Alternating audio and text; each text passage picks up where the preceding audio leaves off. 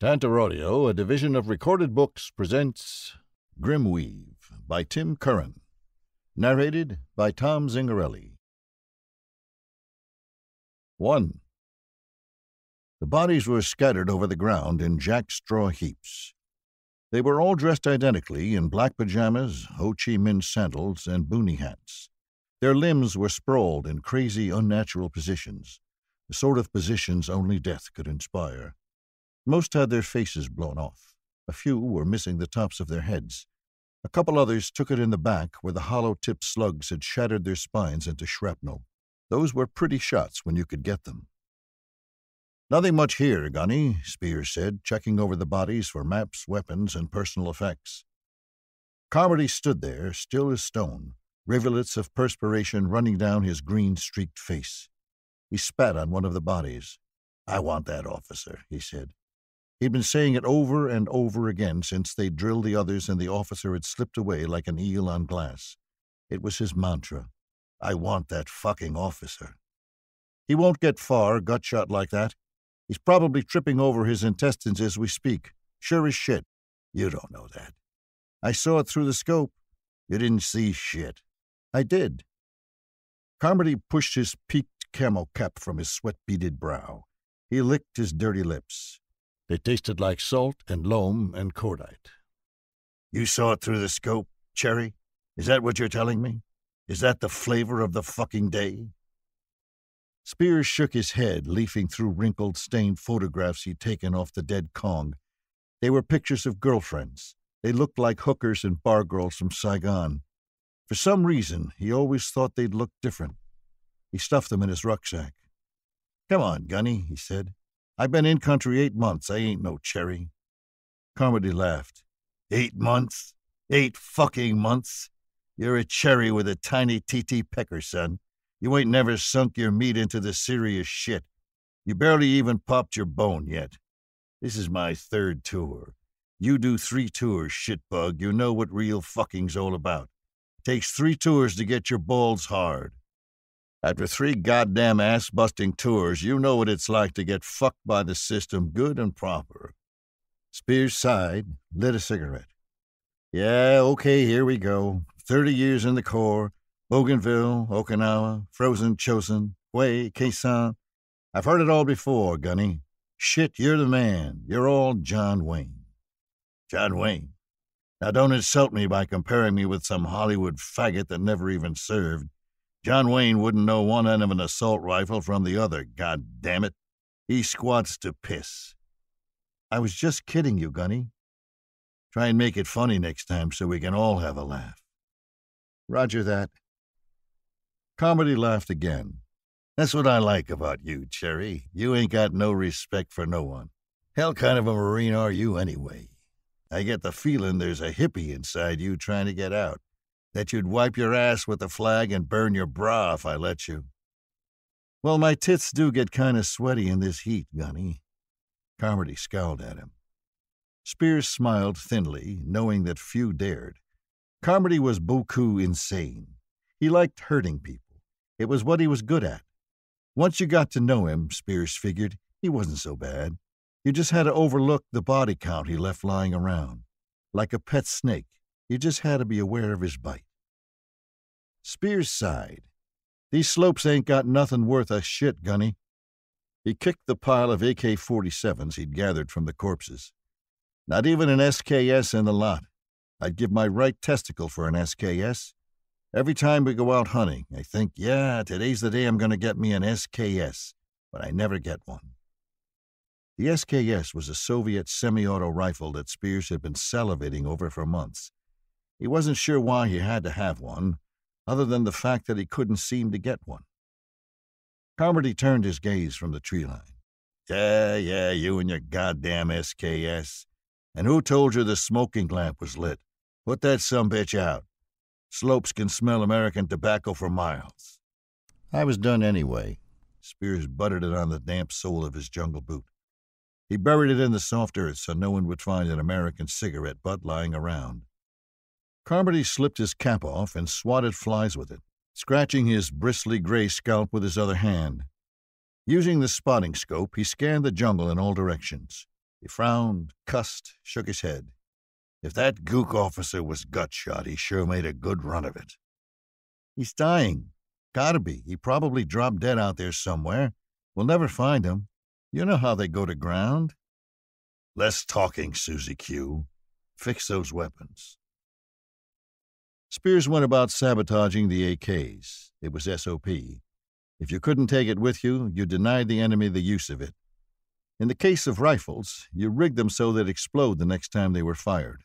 Denying the enemy got carried to great extremes like everything in that war. The infantry would generally destroy anything it couldn't carry off burn hooches, blow ammo dumps, booby trap enemy dead, shoot pigs and chickens and dogs, torch crops. There was an art form to total destruction, and there was no more dangerous, brutal animal in the world than a 19 year old American boy. Spiers had heard that some of the Soldier of Fortune snake eaters, SEALs and LRRPs and berets, would actually drop poison vials into wells and inject livestock with infectious diseases. Maybe it was just bullshit, but maybe not. The stories made the rounds, and you tried not to think too much about them.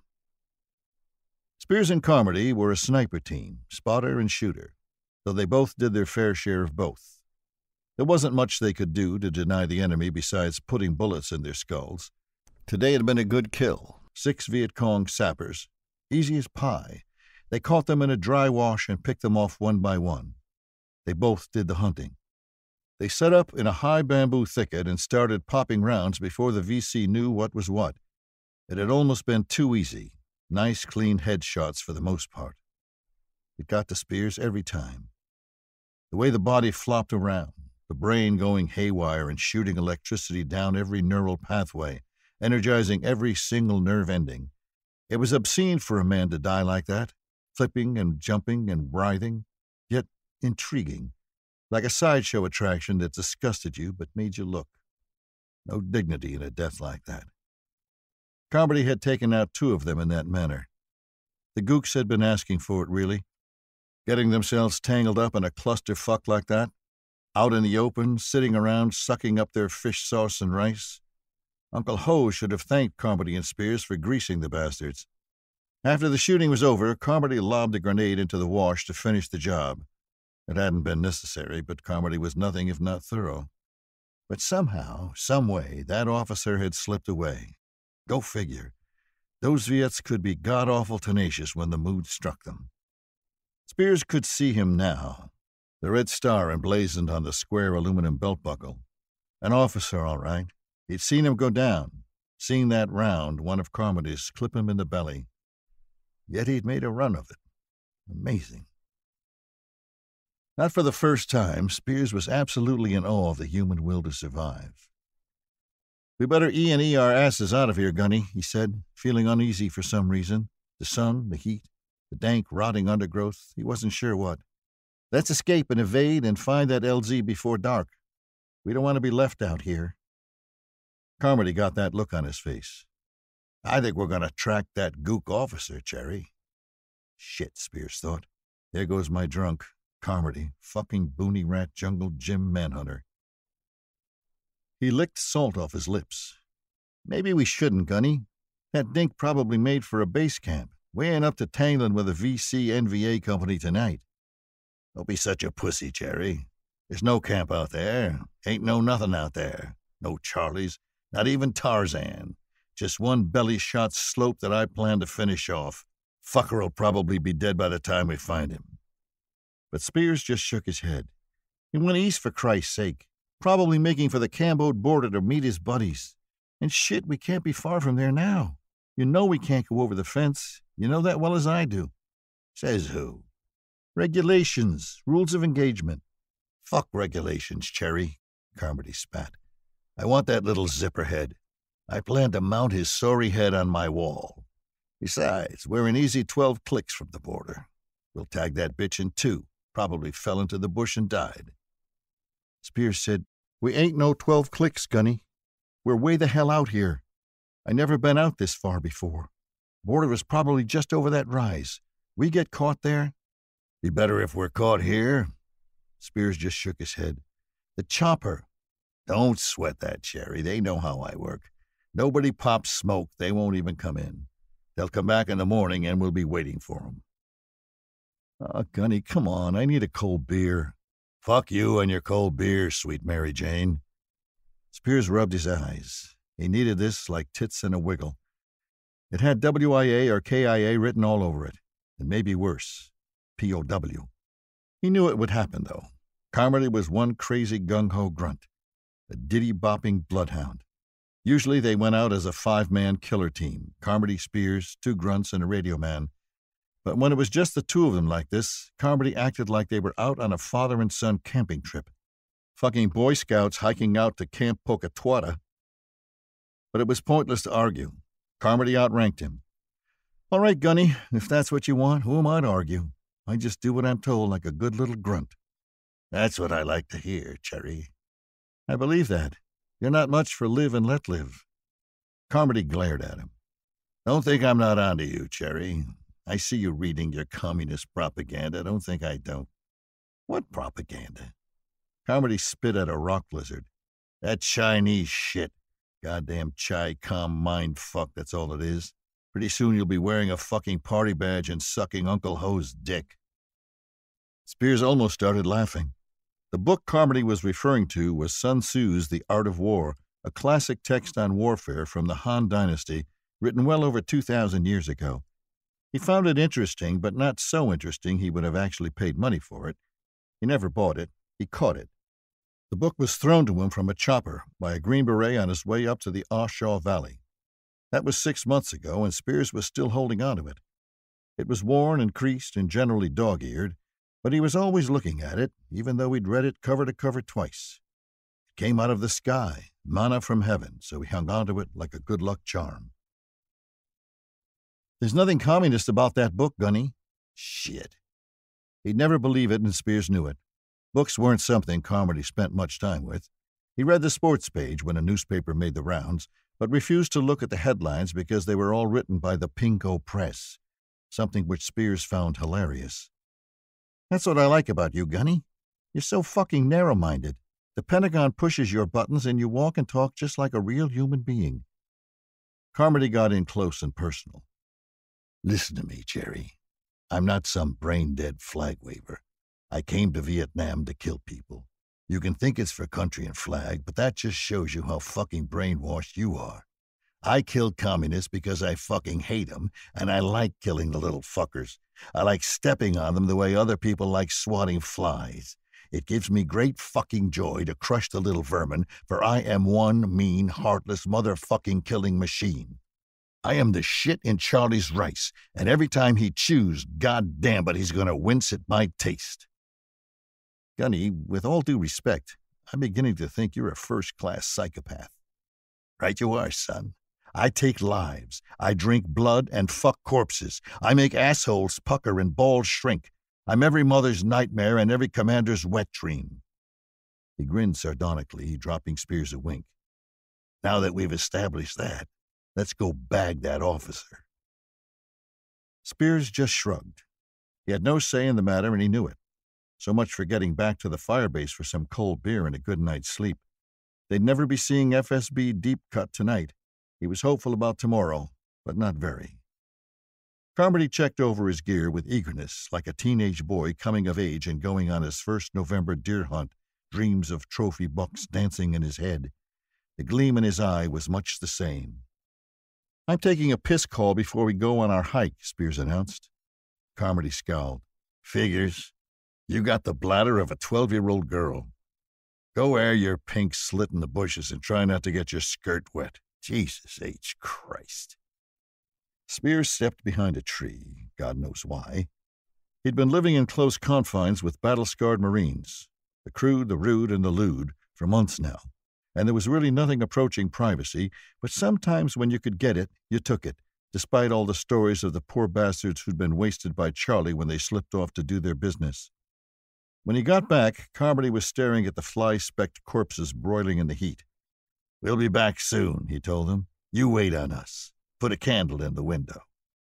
Let's go already, Spiers said. Carmody grinned. It was not a pleasant sight. His teeth were like yellowed tombstones set into that seamed, painted face. Grab your ruck, Cherry. Let's hump. We're going to bag us a chuck and step in some shit. But Spiers had a weird feeling they were about to step into something much worse. Something he just couldn't put a name to. 2. They moved like stalking cats, quiet, controlled, predatory.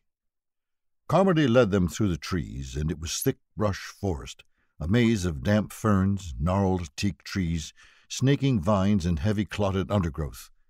The ground was muddy and uneven, an obstacle course of rotting logs, falling branches, and leafy loam four inches thick that sucked their canvas boots straight down. The triple canopy jungle blocked out most of the light from above, creating shifting pockets of shadow and steaming rank mist.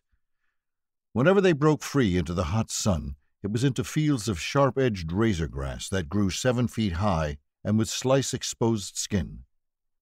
Then it was back into the jungle again, to fight through thickets of interlocking scrub and tangled vines and muddy sinkholes, while clouds of mosquitoes and gnats hovered around them in a buzzing, persistent aura. The only good thing about any of it was that it was such primitive country. Prehistoric is the word that passed through Spiers' mind, and so congested that there was no way any sizable enemy unit could move through it. So, beyond small bands of VC, he didn't figure they had too much to worry about other than the local wildlife poisonous snakes and venomous spiders and whatever other awful things that had come to term in its dripping vastness. Carmody, who was twice his age, moved through it like an indigenous tribesman, a fucking Nung Kit Carson scout. He did it quickly yet carefully, quietly and smoothly. He wasn't even human. He was part monkey and part snake and part mole. Nobody could move like this guy. He wasn't even human. Spiers had a hell of a time keeping up with him. Come on, Marine, Carmody whispered to him, holding some fan leaves aside. You move like my maiden aunt fucks. And Spiers thought, that crazy motherfucker? He's going to lead us into a VC ambush, and six months from now, some ARVN grunt patrol's going to find our bones and wonder who the hell we were. Countryside was a mutiny of dense vegetation, and there were just too many places for the enemy to hide. And that officer, well, he could have crawled off and died just about anywhere. They could have walked within four feet of his body and never even seen him. This was bullshit. The way things were going, it would be dark before they evaded to the LZ. They crossed a spreading boggy pool of emerald green water, the surface slicked with algae and covered with gliding bugs. The bottom was slippery with flat, mossy stones, and it was quite a job to keep from going on their asses with all the equipment they were carrying. At least it was for Spiers. Carmody moved through it like a kid, sure footed with impeccable balance. On the other side, some fifteen feet in front of Spiers, Carmody held up a hand and Spiers stopped. His heart was thudding and he was up to his knees in the muck. If they made contact with the enemy now, he was a dead man. After a moment, Carmody motioned him forward. See it? he said. Spiers did. On a flat bladed leaf there were a few drops of blood. Beyond, there was a neat little trail of it through the fronds. Many of the stems were broken, petals flipped up with the lighter underside showing. A rotted log had been disturbed by a boot, the darker wood gouged free. Someone had been through here, someone in a hurry, someone stumbling blindly through the brush with no attempt made to cover their progress. It was the sort of trail an injured, desperate man might leave behind. Carmody grinned like a viper, moving forward in a slow, careful duck walk, eyes wide, ears open, and nose sniffing like a blue tick hound hot on the trail of a possum. He not only saw the blood, Spiers knew, but he smelled it, and nothing would stop him now. He was relentless when he was on the trail of the enemy, absolutely relentless. He was a brutal and vicious killer when he was hot on the spoor of a communist. There was no way he would stop until he greased that officer, just no way. The idea of it was unthinkable to him, it was like having sex without an orgasm, and Spiers figured for guys like Carmody, that comparison was pretty damn apt. 3. Carmody was getting excited. You wouldn't have known it by looking at him, but inside he could barely contain himself because he was closing in on his prey and he knew it. There was not only a science to the hunting of a man, but to reading the blood trail itself. When they'd first started out after the officer, Whenever they saw a splotch of blood, it was dark and dry, which meant it wasn't recent. But the closer they got, and hot damn they were getting close, the more it began to become not old, sticky blood, but recent wet blood. Carmody was seeing more and more of it, which meant that the officer was bleeding good, real good, and soon enough he would start seeing blood that was a brighter red in color, frothing with oxygen bubbles, and when he saw that, it would be time for the kill. Spiers was right in thinking the VC had been hit good. Carmody could tell that just by the blood the guy was losing and his drunken plunge through the underbrush. He was in a frantic hurry to escape because he knew he was being hunted. He was dying, most likely, but survival instinct was carrying him ever forward like a wounded animal. He would not stop until he lost too much blood and weakened, or until things reached the point of no return, and like an animal, he crawled off somewhere to die in relative peace. That's what bothered Carmody more than anything else the possibility that the officer, his kill, as far as he was concerned, would die before he got to him. That would have been extremely disappointing for a guy like Carmody, who liked his adversaries to know not only that they were being killed, but by whom. As he tracked through the underbrush, hunting spots of red, he saw no sign that the VC had stopped to dress his wounds. Maybe he did it while he was moving. That was a possibility. Some of those little bastards were tough SOBs. But the fact that Carmody saw no indication of any hesitation in the officer's flight made him think there was plenty of life left in him, and that made him smile. You little zipperhead, you're giving me the most fun I've had in weeks. And it was fun, but it was also business, and in business you had to be hard nosed and practical. Carmody was feeling tense inside, but it was a good kind of tense, mixed with excitement. But he knew he had to keep the latter on a low simmer so he didn't make any mistakes. This gook officer was just like any other soldier. If he knew he was dying, he might just decide that he didn't want to die alone, that he was going to take his hunter with him. The last thing Carmody wanted to do was to stumble into a kill zone and get stitched crotch to throat by an AK 47. So he moved calmly and carefully, senses heightened. He could hear Spiers behind him. He wasn't making too much noise, but definitely more noise than Carmody liked. Spiers was a good kid. Carmody was going to mold him into a good Marine one way or another. He was going to make a first class scout sniper out of him, whether he liked it or not. And right then, Carmody knew he was not liking it. Not in the least. He was a product of his generation and the war itself. These new guys wanted to go out, make contact, kill some VC, then get back to camp in time for supper, a good drunk, and a sloppy Viet blowjob. That's what worried Carmody about the new breed of Marine. They just did not seem to embrace the suffering like the old school. Too much technology, too many fancy toys. Sometimes even Carmody found himself getting used to it, acclimating himself to the easy life. In Korea, scout snipers were out on operations for days at a time, but in Vietnam it was different. They were usually day trips. The choppers made that possible. There were very few overnighters. Now and again he would go out with a platoon or a company sized element, always on the hunt for VC or NVA, forward observers, or scouts. It was his job to take them out, and he enjoyed it. But that shit was always point and shoot and took no real skills, no real tactics or stealth. The commanding officer would call Sniper up and tell him who he wanted taken out. How he did it was his business, long as it got done. That stuff was okay, but it didn't have the same feel as it did inserting into the jungle with a five man hunter killer team and searching out targets of opportunity, or going out like he and Spiers did as sniper and scout, hunting a specific target. Those were the good ones. Carmody liked it best when it was just the two of them. Two men could inflict some serious damage, but were nearly impossible to track down in heavy jungle.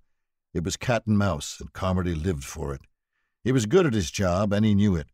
He didn't even want to think of how many hours he'd waited on hillsides for his target to appear, not moving, barely breathing, pissing himself so he wouldn't give away his position, while bugs crawled over him and snakes slid past, unaware that he was anything more than another log. It wasn't for everyone. Very few had the nerves and patience for it. Particularly Americans who just wanted to charge in and win one for the team, get back to camp so they could get drunk and cheer their victory. Carmody had been in the Marine Corps a long time and he rated a desk job. The only way he was out in the field was by pulling a lot of strings and calling in a lot of favors. Out in the boonies, he was effective. Pushing papers, he was useless. Wait, what the hell is that? He saw some blood on a fern, fresh blood, but that wasn't what caught his attention. There was something else just ahead, caught in the grass, a strand of something white and shiny. Tripwire? He motioned for Spiers to halt and crawled forward on his belly with his Ka-Bar knife out to see if it was the wire for a booby trap. He edged in closer through the moist loam, feeling the water soaking through the knees of his jungle utilities. The strand wasn't connected to anything. It was just laying there. Using the blade of the knife, he pulled it free and got it into his hands. Funny, it was sticky feeling, yet silky underneath. He tried to break it, but it had incredible tensile strength. At first, he was thinking it was a strand of some kind of spider web, but it wasn't spider web. It wasn't wire either, exactly. It was sort of like plastic fishing line, very fine, he cut it with his knife, but he had to saw at it, and his blade was sharp enough to slit throats. Strange stuff. It could have been some new type of wire, but if it was, there was no way the Viettes would be using it. Everything they had was begged, borrowed, or stolen. He motioned Spiers forward. What is that shit? Spiers asked. I don't know. Maybe some kind of synthetic. Spiers held it, decided he didn't like the feel of it, and dropped it in the grass. Carmody looked up into the trees. He sensed motion. For just a second, he thought he glimpsed a shadowy form moving through the high branches, but there was nothing up there. Maybe it had been a monkey. He kept staring, watching, feeling a chill along his spine that he couldn't adequately explain. There was no way a VC could be up that high, 70 feet off the ground. Yet he had the most awful feeling that he was being watched. The idea was ludicrous, of course, but it persisted, and he did not like it. Spiers was staring up there, too. What is it, Gunny? he whispered. Carmody shook his head. Nothing but my imagination. You sure? Let's go, he told Spiers. Our day isn't done yet. Figured you'd say that. Carmody slid through a stand of green bamboo, keeping an eye out for snakes, and into the heavy jungle beyond. The vegetation was like a wall pushing in at him, he could see where the VC officer had fought his way through the broken branches and scattered leaves, snapped stems. More so, he could smell the pungent, freshly cut odor of sap. Though he could not adequately explain it, he had a feeling of claustrophobia that he had never experienced before. It was as if the jungle was closing in on him or working against him. It was crazy either way. Jungle was just jungle. Yet he couldn't get past a certain eerie feeling that nothing was quite like it had been before. Something had changed or shifted. Distorted was the word that passed through his mind, as if he had stepped off into another world now. Where... We hope you enjoyed this preview. To continue listening to this audiobook on Google Play Books, use the link in the video description.